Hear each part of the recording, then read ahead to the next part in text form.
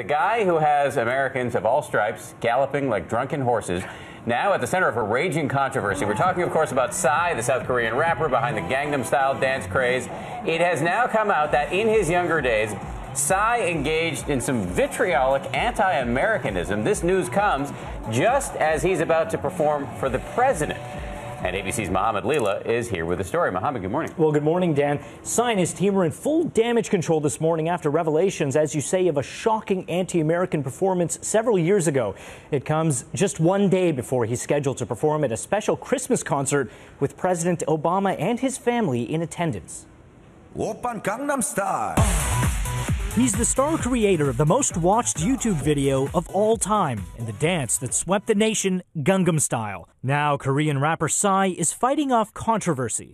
It has to do with this. In 2004, after a Korean missionary was killed in Iraq, Psy performed at a protest concert, singing along to another band song called Dear American, including these lyrics Kill those bleeping Yankees who've been torturing Iraqi captives kill their daughters, mothers, daughters in law, and fathers. If you were sitting around making up horrible things that a pop star could say that would get them in trouble, you'd have a hard time coming up with worse things than this. But it turns out Psy is no stranger to controversy. After two Korean students were killed in an accident with a U.S. tank, he performed at a concert where he smashed a model U.S. tank in response.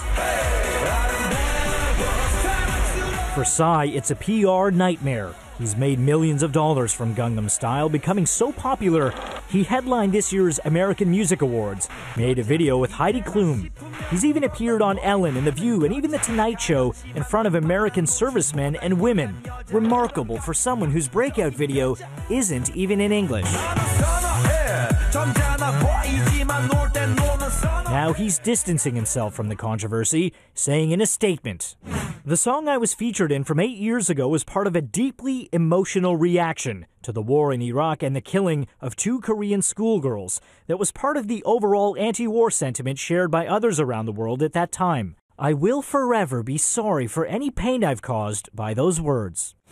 Now, in that apology, Psy points out that he went to school and lived in the United States and that he understands the sacrifices American servicemen and women have made. Now, as for tomorrow's concert, the White House confirms President Obama will attend, saying it's not up to them who gets invited to perform. Yeah, but from a PR perspective, it's going to be interesting That's to watch how this plays and out. And social media, how this Yeah. will get That's picked I'm, up. su- I'm surprised it took this long for this to come out. Yeah. Social Well, media. apparently this has been percolating in South Korea, but it's now hitting America big time.